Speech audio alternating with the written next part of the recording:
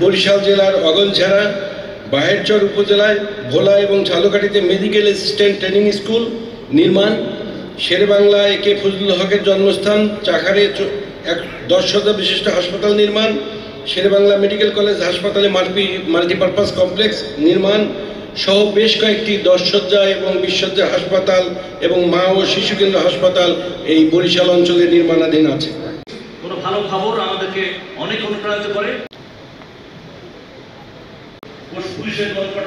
মাত্র পনেরো দিনের ভিতরে আমরা মহাখালী কোভিড ডেডিকেটেড হসপিটাল, যেখানে প্রায় বারোশো কোভিড রোগীর চিকিৎসা করা হয়, সেখানে একান্নটা আইসিইউ, একশো আশিটা এইচডিইউ সহ আমরা পনেরো দিনের ভিতরে এই হাসপাতালের আমরা নির্মাণ কাজ সম্পন্ন করেছি।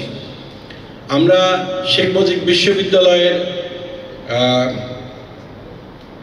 যে কনভেনশন হল আছে, সেখানে আমরা পাঁচশো সজ্জার কোভিড হাসপাতাল, সেটাও আমরা পনেরো দিন থেকে ষোলো দিন সময়ের ভিতরে আমরা সম্পন্ন করেছি। এবং আপনারা জেনে অত্যন্ত আনন্দিত হবেন, মাত্র চব্বিশ ঘণ্টা সময়ের ভিতরে আমরা শাহজালাল আন্তর্জাতিক বিমানবন্দরে আরটিপিসিআর যে সমস্ত টেস্ট করার দরকার, সেগুলোর কাজ সমাপ্ত করে এসেছি। হোপফুলি কালকে সকাল থেকে যেটার আনুষ্ঠানিক টেস্ট শুরু হবে।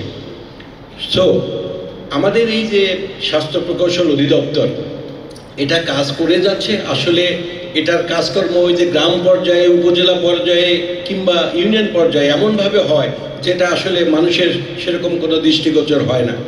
কিন্তু আমি এটুকু অত্যন্ত আশার সাথে বলতে পারি যে আমরা যে কাজ করছি, আমরা ঠিক মানুষের দোরগোড়ায় স্বাস্থ্যসেবা পৌঁছে দেওয়ার জন্য যে সমস্ত অবকাঠামো দরকার, সেগুলোর কাজই করে থাকি।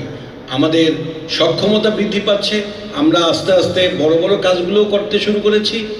আমরা সাতক্ষীরা মেডিকেল বিশ্ববিদ্যালয়, মেডিকেল কলেজ এবং হাসপাতাল নির্মাণ করেছি। আমরা গোপালগঞ্জে Sheikh Sahera medical college and হাসপাতাল নির্মাণ করেছি এবং আপনারা জেনে খুশি হবেন, ভবিষ্যতে সরকার আমাদের উপর প্রীতি হয়ে রাজশাহী মেডিকেল বিশ্ববিদ্যালয় নির্মাণ কাজের আমাদের উপর ন্যস্ত করেছে। সেটা আমাদের জন্য অত্যন্ত আনন্দ খবর, আনন্দের খবর। আমরা বরিশালের ব্যাপারে একটু আসতে চাই যে ঢাকা কেন্দ্রিক করোনা রোগীর প্রবাহ কমিয়ে স্থানীয় পর্যায়ে যাতে চিকিৎসা সেবা বৃদ্ধি করা যায়, সেই উদ্দেশ্যে আমরা বিভিন্ন জেলায় এবং বিভিন্ন বিভাগে কাজ করে যাচ্ছি। বরিশালও তার কোনো এক্সেপশন নয়।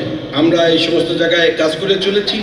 তারই অংশ হিসেবে বরিশাল বিভাগ জালুকাঠি পিরোজপুর সদর জেলা হাসপাতাল ভান্ডারি এবং চর উপজেলা কমপ্লেক্সে, আমরা লিকুইড অক্সিজেন ট্যাঙ্ক সহ সেন্ট্রাল মেডিকেল গ্যাস সিস্টেম স্থাপন করেছি, যেটা এখন বর্তমানে ব্যবহৃত আছে। বরিশাল জেনারেল হাসপাতাল একশো শয্যার কোভিড হাসপাতাল চালু করার সিদ্ধান্ত গ্রহণের পর তাৎক্ষণিকভাবে আমরা ওয়ার্ডগুলো প্রস্তুত করে দিয়েছি এবং উপজেলা হাসপাতাল সময়েও চাহিদা মোতাবেক আমরা সমস্ত প্রকার কাজ করে থাকি। এখন যেটা প্রশ্ন হয়েছে যে মাঝে মধ্যে কমিউনিকেশন গ্যাপ হচ্ছে, আশা করি আজকের এই সেমিনারের পর আমাদের সেই গ্যাপ অনেকাংশেই কমে আসবে এবং আমরা আরও অনেক ক্লোজ হয়ে একজন আরেকজনের পরিপূরক হিসেবে এই কাজগুলো করে যেতে পারব।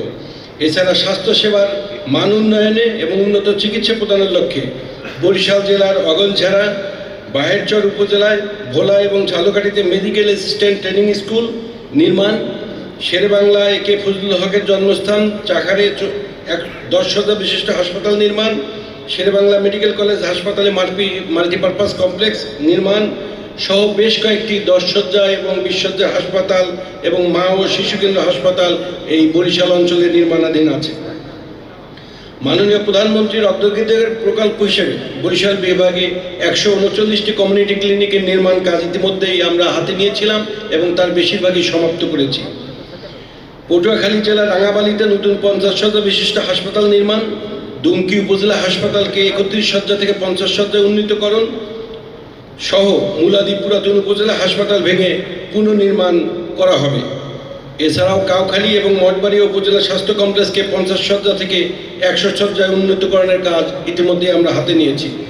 সম্মানিত মাননীয় সিনিয়র সচিব মহোদয়, করোনা অতিমারি বা ডেঙ্গু মোকাবেলায় সমন্বিত ব্যবস্থার অংশ হিসেবে স্বাস্থ্য অবকাঠামো নির্মাণ ও সম্প্রসারণ এবং স্বাস্থ্যসেবা বিভাগের সংশ্লিষ্ট অধিদপ্তর সমূহের লোকবল বৃদ্ধি করে করোনা এবং ডেঙ্গি চিকিৎসার জনগণ যাতে স্ব স্থানে এবং সহস্থ জেলায় এবং উপজেলায় ইভেন কি উপজেলা পর্যায়ে এবং ইউনিয়ন পর্যায়ে পেতে পারে সে পরিকল্পনা এখনই আমাদেরকে গ্রহণ করতে হবে এবং সেজন্য আমাদেরকে সেই অনুযায়ী কাজ করতে হবে। আমি আশা করব আপনার নেতৃত্বে স্বাস্থ্যসেবা বিভাগের এই সেবার মান নিঃসন্দেহে বৃদ্ধি পেয়েছে এবং সম্প্রতি আরও বৃদ্ধি পাবে এবং শুধু বরিশালবাসী নয়, সমস্ত বাংলাদেশ আপনার এই বদান্যতায় এবং আপনার এই ডাইনামিজমে উপকৃত হবে। পরিশেষে সময় উপযোগী এমন একটি গুরুত্বপূর্ণ বিষয়ের উপর আজকের এই সেমিনার আয়োজন এবং আমাকে বিশেষ অতিথি হিসাবে যোগদানের সুযোগ করে দেওয়ার জন্য আমি